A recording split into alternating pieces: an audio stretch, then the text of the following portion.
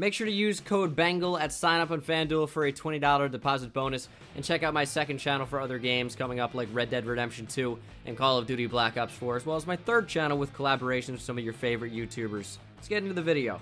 What's going on guys? Bengal again here coming back at you with another video today doing another draft class video. Of course we are on the Jets because they held, as you guys can tell from the title and the thumbnail I hope, the first pick in the 1996 NFL Draft where they took Keyshawn Johnson. But before we get into it, Madden, let's go ahead and check out this draft class as it happened in real life.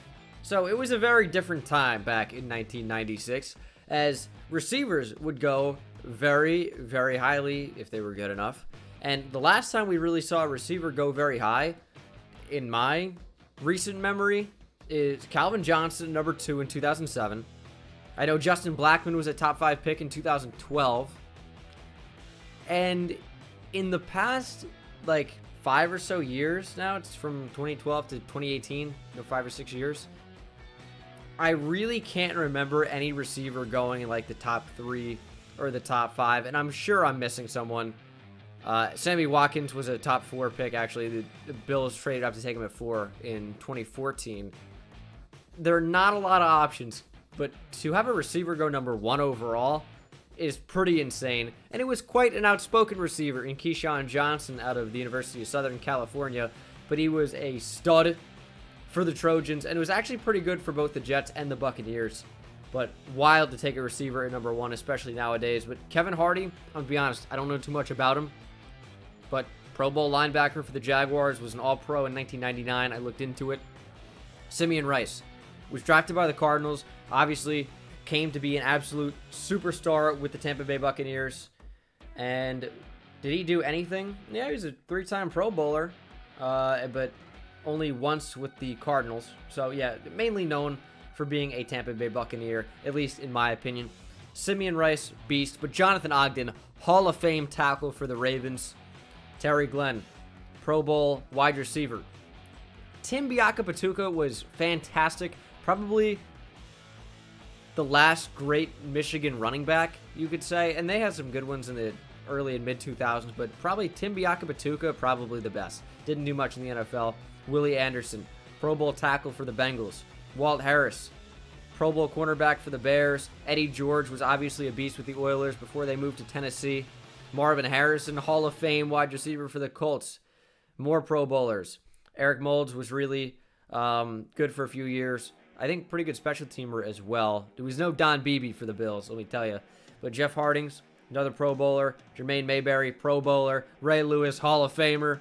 One of the best linebackers in NFL history. Uh, up there with, like, you know, Dick Butkus and others. There are other good linebackers as well. Jerome Woods, another Pro Bowler. Tony Brackens was a beast with the Jags. Mike Alstott, probably the best fullback in NFL history. And now I'm not including like how Jim Brown maybe was a fullback or John Riggins was a fullback, even though they were like the primary tailback uh, for their team. Mike Alstott, true fullback, lined up, you know, in front of the halfback after the quarterback and some of those I-form packages. Mike Alstott was a beast. Lawyer Milloy was fantastic with the Patriots and the Seahawks. Muhsin Muhammad was a beast.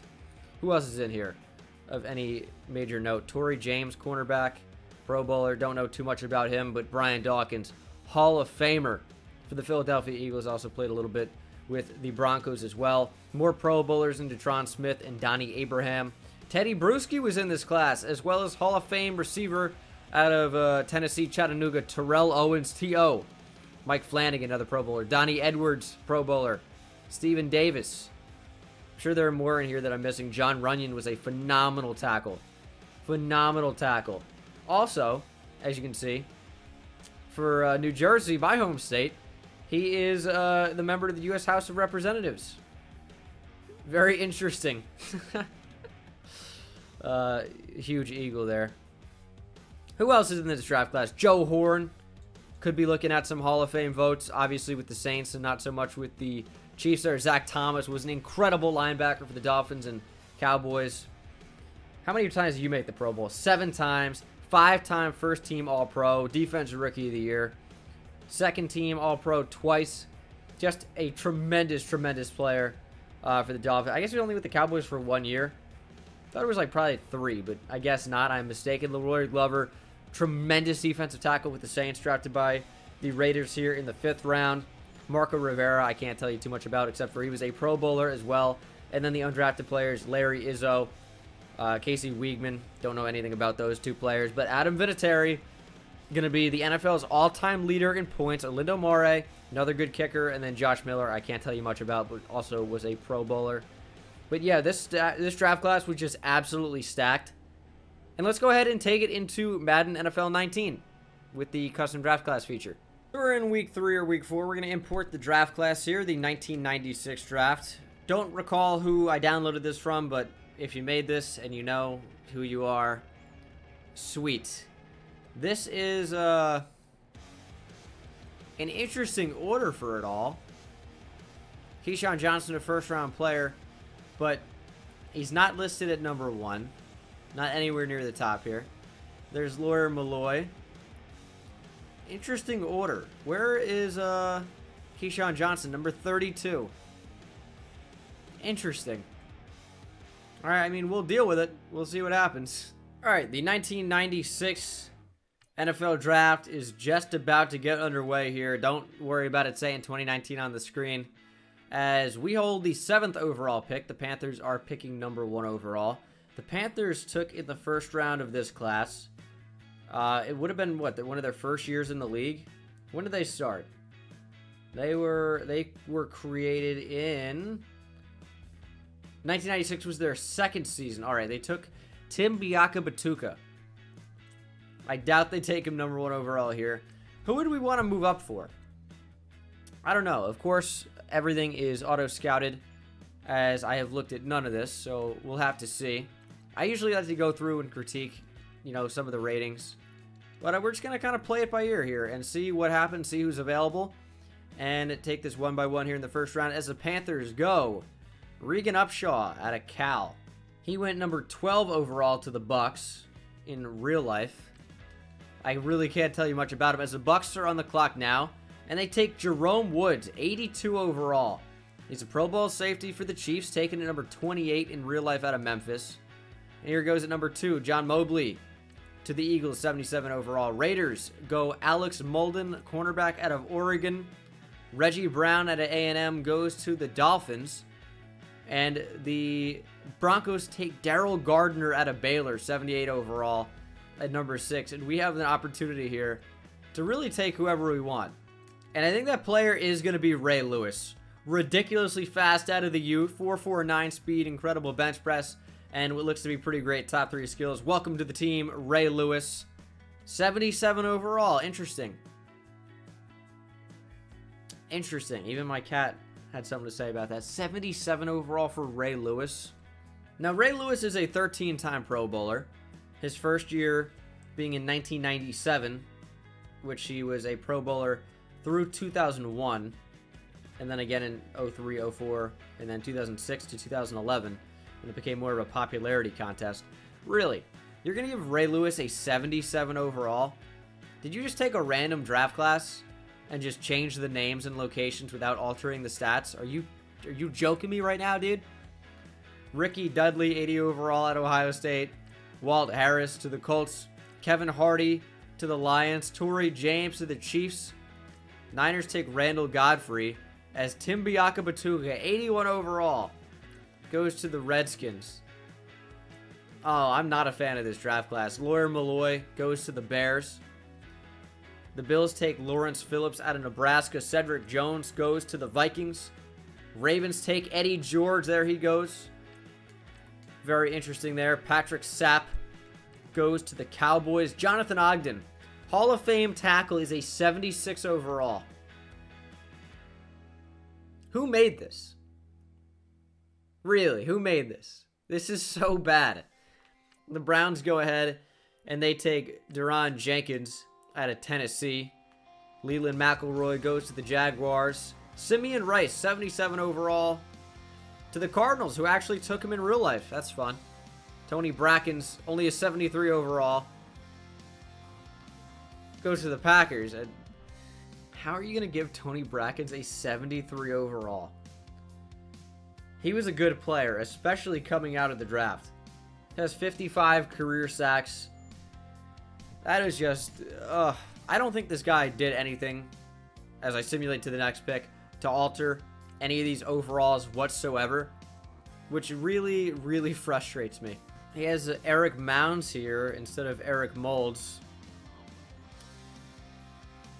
Oh, man. Amani Toomer was in this draft class. I must have missed him when we were looking through it. Jeez. Yeah, Amani Toomer never made a Pro Bowl. That is crazy. I skipped right over his name. All right, here in the second round, we're going to take Brian Dawkins, and he's going to be probably trash. Well, 79 overall superstar development is not exactly trash. Again, 79 overall seems a little bit low for one of the best safeties in NFL history. 88 speed, 88 hit power, I don't really mind. He's a good. He's a good player. Speed probably could go up. Zone coverage could go up a little bit. But Brian Dawkins, I guess, welcome to New York.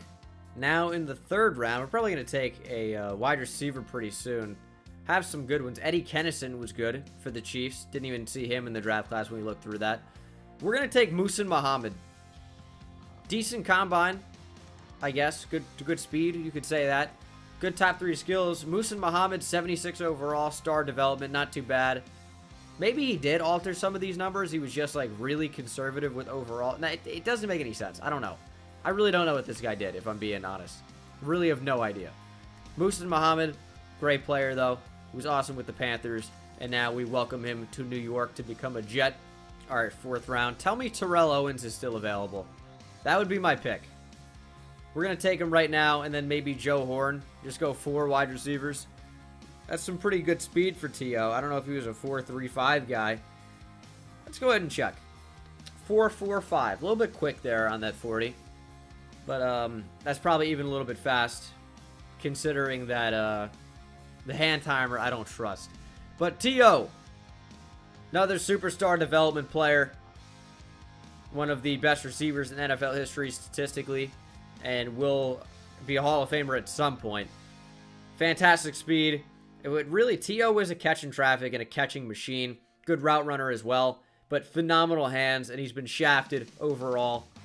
With like, he should have like 92 speed. With 87 catching. 86 catching traffic. Something like that. Because you got to make him a little bit juice. T.O. was pretty good coming out of college. I know he was like a late round pick. I think a lot of that is due to the fact that he went to, you know, Tennessee Chattanooga. But T.O. was pretty dominant, was straight coming into the NFL.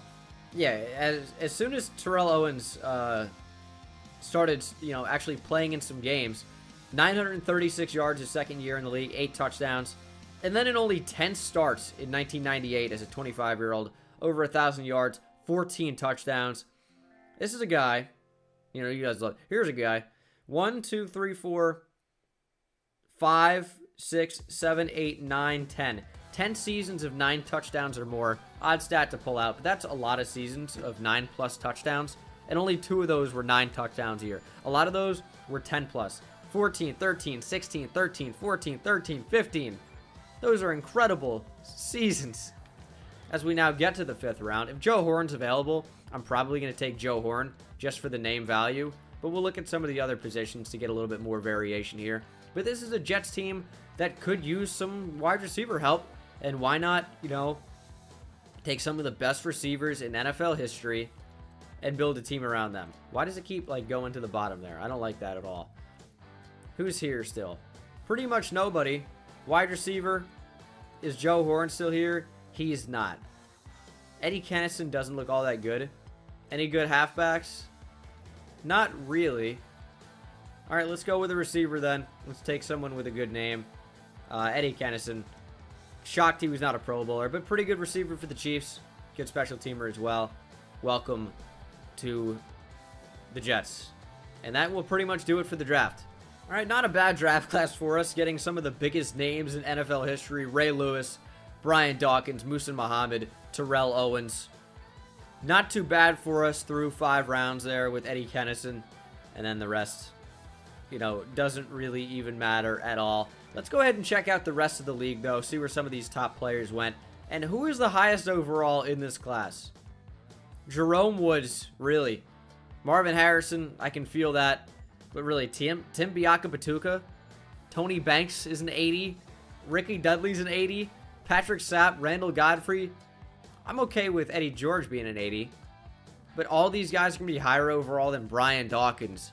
And even Lawyer Milloy, you could argue, could be an 80 plus. But really, over Ray Lewis, over Simeon Rice, over Terrell Owens, these are crazy things to me. Over Muhsin Muhammad, over Hall of Famer Jonathan Ogden, even over Keyshawn Johnson, who wouldn't go until the second round, who was taken number one overall. It's highway robbery, is what it is. We got a decent receiving corps for Sam Darnold. The CPU will sign whoever. We got T.O., Muhsin Muhammad for him to throw to. And then on defense, Ray Lewis. Not bad. Brian Dawkins is going to start over Marcus Maye. And to ensure that no funny business happens, we're going to cut Marcus Maye. And Brian Dawkins absolutely will start. And that's pretty much all we did. All right, let's see how these stats look after a full season. No, it says we're going to sim 10 years. I'm going to cut it off at uh, the necessary time. We are a nice 4 and 11 in week 17. Just what you like to see after a loss 30 to 29 over the Dolphins, which I can see in the top left. You guys can see it. My face cam's not blocking it this time. 4 and 12, not exactly what you want to do, to be fair. But maybe we had some guys ball out. Sam Darnold only threw 22 touchdowns, so probably not, and 3,600 yards. Isaiah Crowell was a disaster. Muhsin Muhammad led our team in catches. T.O. and Eddie Kennison tied. They all combined for seven touchdowns and under 2,000 yards. Is that what that is? Actually, a little over 2,000. Little over 2,000. Did the math. 2,200 or so. Offensive line, uh, not great. My cat needs to stop nudging the microphone, please. Brian Dawkins had 96 tackles, 3 sacks, and a pick. Pretty good season. Where was Ray Lewis in here? Did he do anything? We were playing a 3-4, correct? Where is Ray Lewis? He had 37 tackles. Odd. Why is that the case? We're in a base 3-4 scheme. Yet, he had 37 tackles. He's up to an 80 overall. Brian Dawkins is up to an 85. I had the CPU auto-progress. T.O. at an 81. Muhsin Muhammad at a 77. Let's go ahead and check out the awards from around the league. Philip Rivers won MVP. Anyone from this rookie class in consideration? No. AFC Offensive Rookie of the Year goes to Leland McElroy. Ricky Dudley, number two. Lecarius Ridley, number three. Keyshawn at number four with the Colts. Eddie George at number five. Eddie Kennison, Muhsin Muhammad, and T.O. all back to back to back at six, seven, and eight. Followed by Jason Dunn, Terry Glenn with the Raiders. Defensive Rookie of the Year was Reggie Brown followed by Frank Spanos, Brian Dawkins, Zach Thomas with the Chiefs, DeAndre Harrison, Walt Harris, Anton Harbor, Tory James, Alex Molden, and Bryant Mix. NFC Defensive Rookie of the Year, Kevin Hardy, Lee Ferguson, Jerome Woods with the Bucks, Ross James, Teddy Bruschi went to the Saints. Forgot about him. Randall Godfrey, Lawyer Milloy, Franklin Arnold, and Michael Meslowski. Check out Offensive Rookie of the Year, and it was Marvin Harrison you imagine Marvin Harrison coming to the league as a rookie, getting to work with Aaron Rodgers? He's up to a 93 overall. Detron Smith, Tim Biakabutuka, Trayvon Verdon, Emmanuel Mills, Austin Byam, Ty Baldwin, Marco Battaglia, Jordan Elgin, and AJ Butler round out the top 10. But guys, that is going to do it for this video. Hope you guys enjoyed watching. Let me know what draft class you want me to do next. Subscribe if you're not already. And I will see you guys in the next one. Take it easy.